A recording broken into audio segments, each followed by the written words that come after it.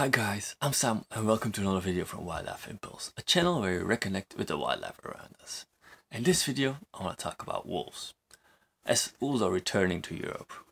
But wolves can be found across the whole northern hemisphere, uh, varying in color from like totally black to totally white. But in this video I want to concentrate on the wolves in Europe. They're a bit bigger than dogs, but there are a lot of different dog breeds, so some dog breeds really look very similar to wolves. The wolves in Europe are mostly grey brownish and they have like a head to body size of about 1 meter. They are about 80 centimeters shoulder height.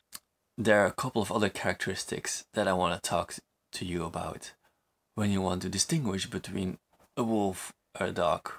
When you're out in the field and you see some glimpse of an animal, it's not always easy to figure out what it is. So Wolves are like big dogs, and I talked about the size, but they can weigh, or they mostly weigh between 25 and 50 kilograms, whereas big males can weigh up to 80 kilograms.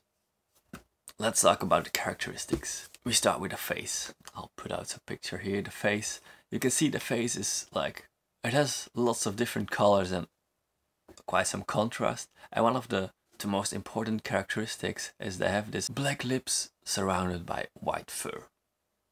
Also, when you look at the ears, they're kind of straight up. And the face of a wolf is a bit more of a broader looking. And it also has some, can have some of these uh, hairy cheeks as well. Overall, the wolf has like a stronger appearance than most dogs. They, they tend to stand stronger.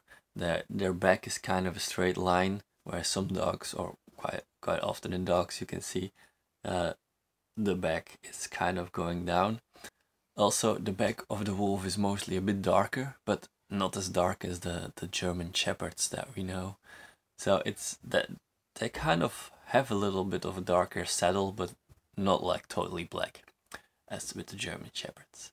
Then another very important characteristic to look at is the tail. The tail of wolves is mostly bushy, and it's it's always going kind of wearing down without any bend. Uh, so if you see something running with the tail high up in the air, then you can be sure it's it's not a wolf, like it's probably a dog. Also, the tail has mostly like a black black tip at the end, which also a very good characteristic.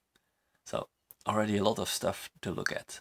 On the face you have this uh, black lips surrounded by white fur. Uh, the ears are always up has a bit of a stronger appearance. Tail uh, is always, or most of the time, down without any bend. Uh, they have a shoulder size of like 80 centimeters, length of 1 meter, so it's, it's fairly big. Alright, if you're already getting value out of this video, please can I get a thumbs up? Then now I will talk a bit about the bigger picture. So dogs are just mostly accompanied by a, human. Whereas wolves, you have lone wolves, but wolves are social animals as well, so they live in packs. Across Europe, it's mostly not like that big of packs. So wolves are usually are either live on their own, live in a pair, or in small packs. Uh, so if you're lucky, you can actually see multiple wolves all together. Alright, this being said, I want to end this video with to talk a little bit about how to increase your chances of seeing a wolf. Wolves like to run a lot, so actually to, to increase your chances of seeing a wolf, you just need to find an advantage point where you have like a, a good view um, and you just need to be on the lookout in the mornings or in the evenings and you never know that a wolf might pass by. Um, and obviously don't get too close to the wolf uh, they're still wild animals, so they're still unpredictable. So just just keep your distance, have a nice observation if you get lucky. Another way to increase uh, your chances of seeing a wolf is looking for tracks. And actually I made another video about how to recognize wolf tracks. I'll put it up here and probably in the end screen. It's showing up soon as well.